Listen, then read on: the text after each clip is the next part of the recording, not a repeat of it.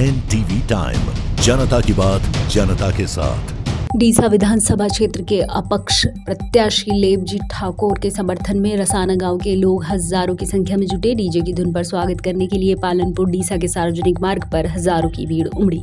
डीसा विधानसभा के चौरासी गाँवों के 18 आलम के लोगों ने हज़ारों की संख्या में एकत्रित होकर अपक्ष प्रत्याशी का समर्थन किया। 2022 के विधानसभा चुनाव में भारतीय जनता पार्टी और कांग्रेस पार्टी ने ठाकुर ने उम्मीदवारों से नामांकन दाखिल किया। अपक्ष प्रत्याशी को जिताने के लिए एकजुट हुए ठाकुर समाज 18 आलम। हज़ारों अपक्ष प्रत्याशियों का समर्थन पाकर भाजपा और कांग्रेस के पैर लूले हो गए हैं।